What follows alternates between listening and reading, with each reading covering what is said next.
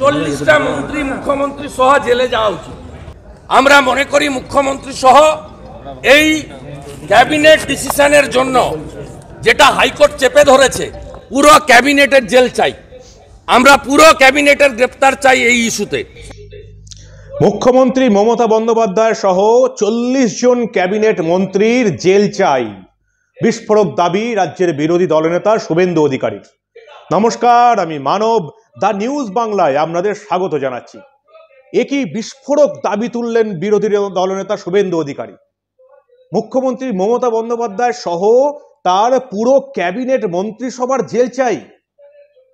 অদ্ভুত দাবি না? কেন এই দাবি তুলছেন শুভেন্দু অধিকারী? জানতে গেলে একটু কলকাতা হাইকোর্টে ঠিক কি কি ঘটছে বা ঘটেছে তার দিকে একটু নজর রাখতে হবে। কলকাতা হাইকোর্টে বিচারপতি অভিজিৎ গাঙ্গুলির এজলাসে এটা প্রমাণ হয়ে গেছে যে চোর, দুর্নীতিবাজ শিক্ষক যারা টাকার বিনিময়ে চাকরি কিনে নিয়েছেন, যাদের চাকরি ইতিমধ্যেই গেছে বা কিছু শিক্ষকের চাকরি এরপরে যাবে, তাদের বাঁচানোর জন্য কোমর কোষে নেমে পড়েছে মুখ্যমন্ত্রী মমতা বন্দ্যোপাধ্যায়ের মন্ত্রিসভা। রাজ্য সরকার বাঁচাতে চাইছে চোর এবং দুর্নীতিবাজ শিক্ষকদের। হ্যাঁ ঠিকই শুনছেন। এটা বিচারপতি অভিজিৎ গাঙ্গুলির এজলাসে ধরা পড়ে গেছে। দুর্নীতিবাজ শিক্ষক যারা এই মুহূর্তে গোটা বাংলার কোনায় কোনায় ছড়িয়ে রয়েছেন, যারা যোগ্য চাকরি প্রার্থীদের চাকরি টাকার বিনিময়ে কিনে নিয়েছেন, যাদের কয়েকজনের চাকরি ইতিমধ্যেই গেছে, আরও কয়েকজনের চাকরি এরপরে যাবে, তাদেরই বাঁচাতে উদ্যোগ নিয়েছে মমতা বন্দ্যোপাধ্যায়ের মন্ত্রিসভা। বিচারপতি অভিজিৎ গাঙ্গুলির এজলাসে এটা প্রমাণিত। রাজ্যের শিক্ষা সচিব মনীষ জৈন, যাকে ডেকে পাঠিয়েছিলেন অভিজিৎ গাঙ্গুলি, তিনি এসে পরিষ্কার বিচারপতির এজলাসে জানিয়ে দিয়েছেন যে এই যে অতিরিক্ত শূন্যপদ তৈরি করা হয়েছে, দুর্নীতিবাজ চাকরি যাওয়া শিক্ষকদের জন্য, এই সিদ্ধান্ত নিয়েছেন শিক্ষামন্ত্রী ব্রাত্য বসু। এবং শিক্ষামন্ত্রী ব্রাত্য বসু এই সিদ্ধান্ত নিয়েছেন পুরো মন্ত্রিসভার অনুমোদন পাওয়ার পর। অর্থাৎ সেখানে মুখ্যমন্ত্রী মমতা বন্দ্যোপাধ্যায়েরও কনসেন্ট ছিল, কারণ তিনিই হলেন মা মাটি মানুষের মন্ত্রিসভার প্রধান মুখ, মুখ্যমন্ত্রী। তিনি অনুমতি দিয়েছেন, তাই রাজ্য সরকার বিজ্ঞপ্তি জারি করেছে যে যাদের চাকরি গেছে দুর্নীতির জন্য, তাদেরও এই চাকরিতে বহাল রাখতে হবে। আর ঠিক এখানটাই ধরেছেন রাজ্যের বিরোধী দলনেতা শুভেন্দু অধিকারী। যারা দুর্নীতি বা চোর শিক্ষকদের পাশে দাঁড়াচ্ছে, তাদের চাকরি বহাল রাখার চেষ্টা করছে, তাদের কি চাকরি যাওয়া উচিত নয়? তাদের কি মন্ত্রিত্ব যাওয়া উচিত নয়? কি দাবি করলেন শুভেন্দু অধিকারী? শুনে নিন আপনারা। যে এই ক্যাবিনেট মিটিংয়ের যে নোট, এই ক্যাবিনেট মিটিং মানে মুখ্যমন্ত্রীর নেতৃত্বে পুরো ক্যাবিনেট অযোগ্যদের চাকরির সুপারিশ করে হাইকোর্টে পাঠিয়েছিলেন।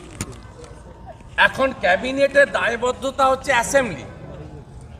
কিন্তু অধ্যক্ষ মহোদয়, তিনি একটা দিক বাম সাইডটা তো ওনার মানে উনি দেখতে পান না। বাম সাইডটা যারা আছেন আমাদেরকে তিনি বললেন যে সাব জুডিস আমি পড়তে দেবো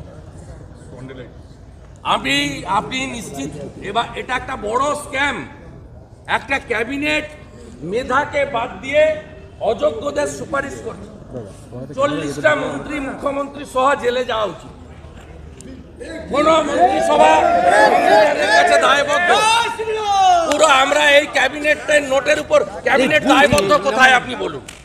ক্যাবিনেট দায়বদ্ধ হচ্ছে অ্যাসেম্বলিতে।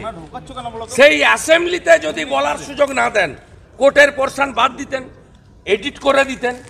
কিন্তু ক্যাবিনেট নোট আমরা মনে করি মুখ্যমন্ত্রী সহ এই ক্যাবিনেট ডিসিশনের জন্য যেটা হাইকোর্ট চেপে ধরেছে হাইকোর্ট চেপে ধরেছে যে এই অযোগ্যদের নিয়োগের সুপারিশ কারা করল, পিছনে কে? এই তো পরিষ্কার, মাননীয় মুখ্যমন্ত্রীর নেতৃত্বে, মুখ্য সচিবের উপস্থিতিতে পুরো ক্যাবিনেটের জেল চাই। আমরা পুরো ক্যাবিনেটের গ্রেপ্তার চাই এই ইস্যুতে।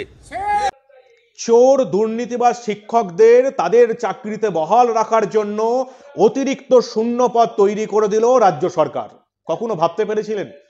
চোরেদের পাশে দাঁড়াবে রাজ্য সরকার?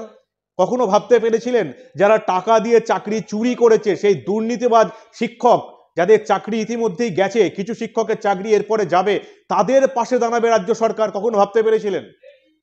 আর এই সিদ্ধান্ত কে নিয়েছে? মুখ্যমন্ত্রী মমতা বন্দ্যোপাধ্যায়ের নির্দেশে গোটা মন্ত্রিসভা। সেই সিদ্ধান্তের কথা জানিয়ে দিয়েছেন ব্রাত্য বাসু। ভাবুন।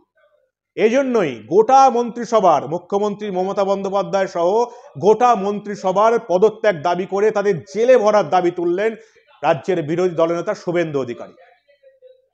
আপনারা কি বলছেন? চোর দুর্নীতিবাজ শিক্ষকদের পাশে দাঁড়িয়ে তাদের চাকরি বহাল রাখার জন্য অতিরিক্ত শূন্যপদ সৃষ্টি করে রাজ্য সরকার কি ঠিক করল? যোগ্য প্রার্থীদের চাকরি যারা টাকার বিনিময়ে কেড়ে নিয়েছে, যে সমস্ত অযোগ্য শিক্ষক এখনও ছড়িয়ে রয়েছে এই বাংলার আনাচে কানাচে, যাদের কয়েকজনের চাকরি ইতিমধ্যেই গেছে, আরও কয়েকজনের চাকরি এরপর বিচারপতি অভিজিৎ গাঙ্গুলি পরিষ্কার বলিয়ে দিয়েছেন, তাদের চাকরিও যাবে। তাদের সমর্থনে দাঁড়াচ্ছে রাজ্য সরকার। তাদের চাকরি বজায় রাখার জন্য অতিরিক্ত শূন্যপদ তৈরি করা হচ্ছে এ রাজ্যে। আর সেটা হচ্ছে মুখ্যমন্ত্রী মমতা বন্দ্যোপাধ্যায়ের নির্দেশে রাজ্য মন্ত্রিসভায়। রাজ্য মন্ত্রিসভা সিদ্ধান্ত নিচ্ছে এবং সেই সিদ্ধান্ত জানিয়ে দিচ্ছেন শিক্ষামন্ত্রী ব্রাত্য বাসু। সত্য সেলুকাস, কি বিচিত্র এই দেশ। আর তাই বিরোধী দলনেতা শুভেন্দু অধিকারী, মুখ্যমন্ত্রী মমতা বন্দ্যোপাধ্যায় সহ চল্লিশ জন ক্যাবিনেট মন্ত্রীকে জেলে পোড়ার ডাক দিলেন। আপনারা দেখতে থাকুন দ্য নিউজ বাংলা। কোনো ঘটনাই আমরা চেপে রাখতে দেব না।